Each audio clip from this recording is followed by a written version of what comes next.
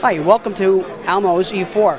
I want to talk to you today about Sanyo's latest introduction in a large venue, and that's the HP 7000. 7000 lumens working off of one 380 watt bulb. It's filtered by our famous AMF, automatic filtration system that has 10 roll throughs. It electronically senses blockage and it will mechanically rotate through and then warn you on the 10th frame that it's time to replace the, the filtration system. Our exhaust comes out the back, which gives you the flexibility and the capability of hanging this in a 360 degree pose. In other words, other than just the horizontal, unlike a lot of the competitors where the exhaust would be right there and through convection would actually turn the projector off after about seven minutes, we have that capability of total flow through.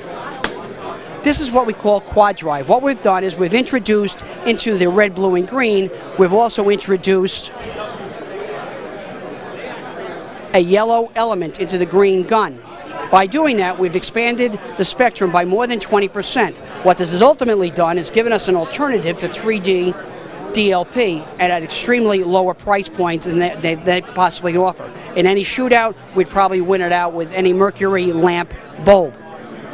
The other thing I want to point out here is the fact that we're using our famous Dios optical lens assembly and engine. What this does is using both organic and inorganic capability, but what it basically does is it takes away all the bad or the heat-producing IR rays and lets the good light go through. So you're dissipating the heat and you're letting the good light go through. What does this mean to you? You're going to get a, an optic engine assembly that's going to last close to six times longer without the distortion, without the yellowing, without the warping capabilities of the past. This has six different lens capabilities. We'll be launching this product in November.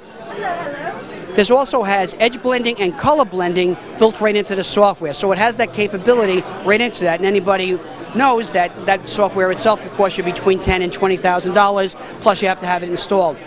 This has the mechanical shutter that we've been putting in a lot of our large venue. The other cool thing I want to talk to you about is that we have actually a Crestron and an AMX chip in here.